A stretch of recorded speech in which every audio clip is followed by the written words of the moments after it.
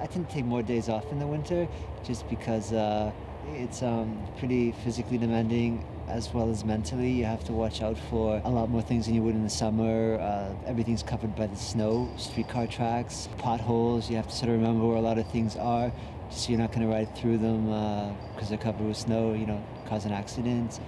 It's physically a little harder because, you know, riding through the snow, it kind of it's a little more uh, resistance. You got to pedal a little harder. You're a little tireder at the end of the day, and uh, you're just a little more tense because you have to be so much more aware of what's happening. Because one wrong move, you slip. The next thing you know, you're under a car. Whereas opposed to the summer, you can pretty much steer your way out of anything. But in the winter, any sharp turns, you don't know what's under you sometimes, and it looks okay, but you never know, and you could go down any time. Winter's not that bad here in the city in terms of amount of snow and stuff, but it's still nice to see it end. And a lot of it, you just stay warm, just you know, body, your body work and creates heat. You're, you, you've probably seen that guy around town. Like even when it's minus three, he just wears like short sleeves and and shorts. You know, oh, man, don't know how he does it. You know, my old knees would be throbbing like your weenie at a Madonna concert. So, so what do you mean old? What do you mean you're old? What do you mean old? Old, then I'm well mid forties, and that's that's pretty old for a courier. I'm not the oldest, but I'm one of them.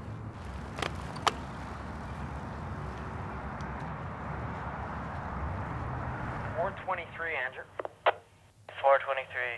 Yeah, this one that's in the office here. When are you gonna pick this up? Sure, I'm coming over to get it. Okay. Six, oh. Go ahead, John. Should check the box. It's empty. 35, Stephen.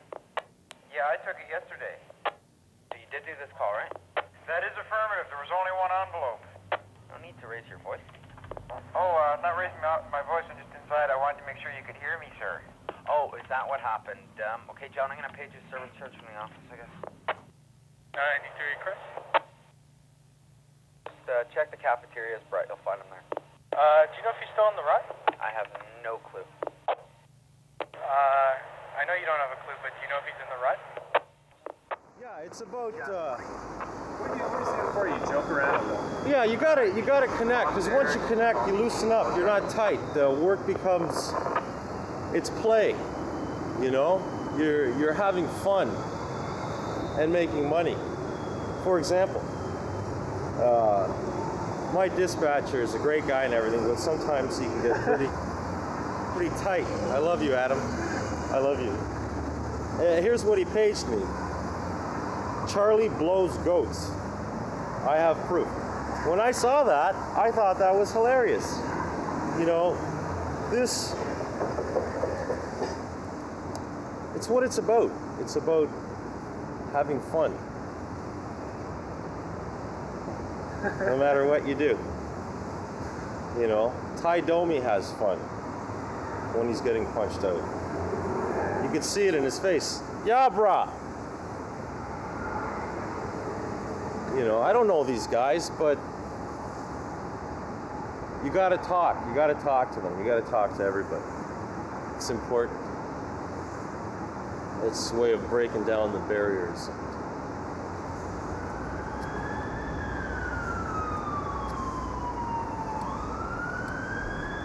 Everybody's going to work now.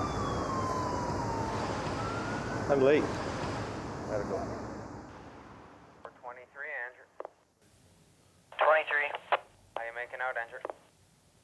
Went to the third floor, but it was the wrong place. I'm supposed to go to the main floor. I'm going there now. The Board of Trade on the Adelaide entrance there. Four.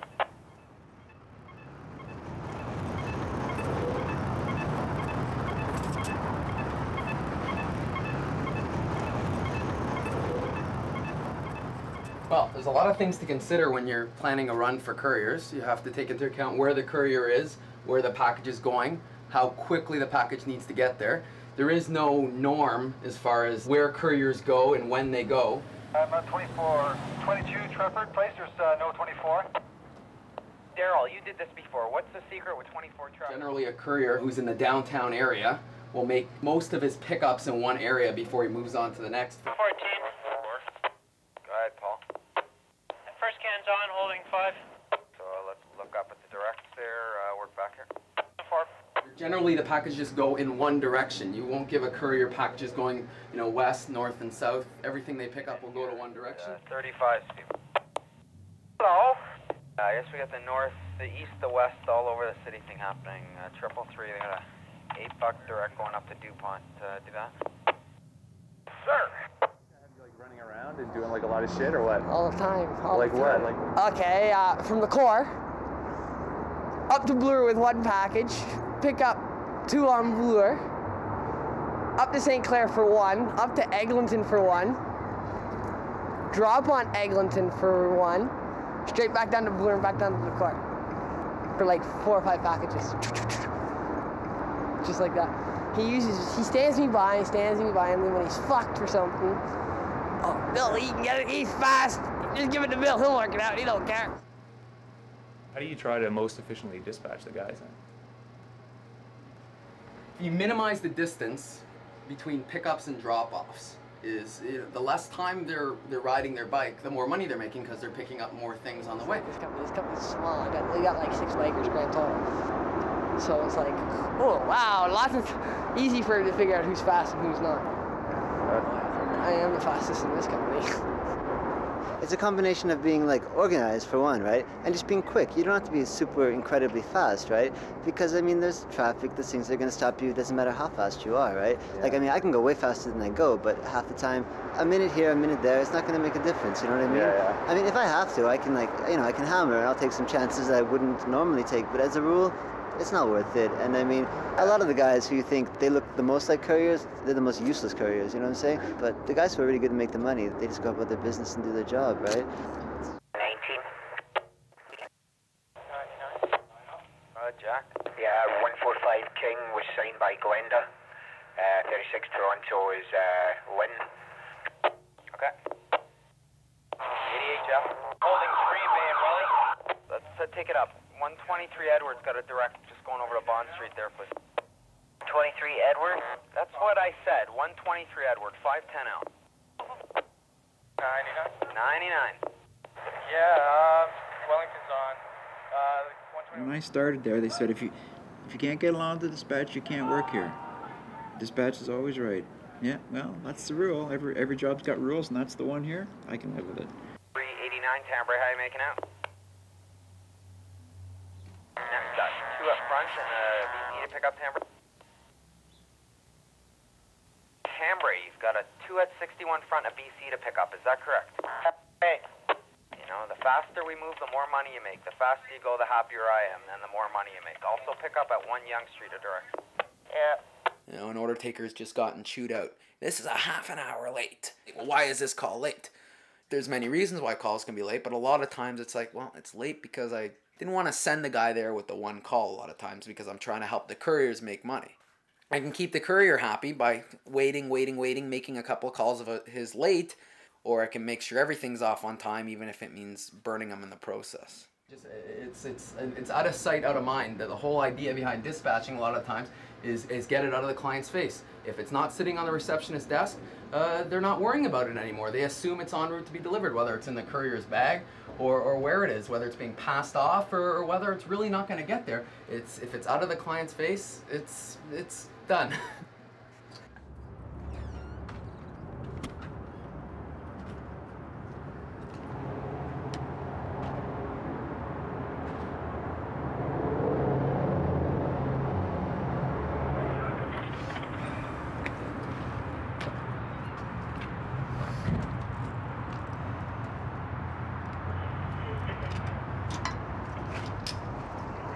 Well, I've had a really good day today. The weather's been nice. I've had one of those days where it's just been crazy right from the point I've left the house. That's the way I like it. I've been up and down to Eglinton twice, but haven't had much sleep the last few nights, so I have myself an afternoon coffee just to give myself a little boost to make it through the rest of the day. Have an energy bar with my coffee. And I brought some cashews. Salted cashews. Because I've been I've been sweating a lot today, so. No, he's got some now. cashews have um, have good good energy, good fats in them. Drink lots of coffee on the road? No. No. In fact, I rarely have. I rarely ever have an afternoon coffee when I'm on the road, but I'm starting to burn out, and I'm going to be going out tonight. So I forgot to show you these as well. The chocolate covered espresso beans. They're a real kicker.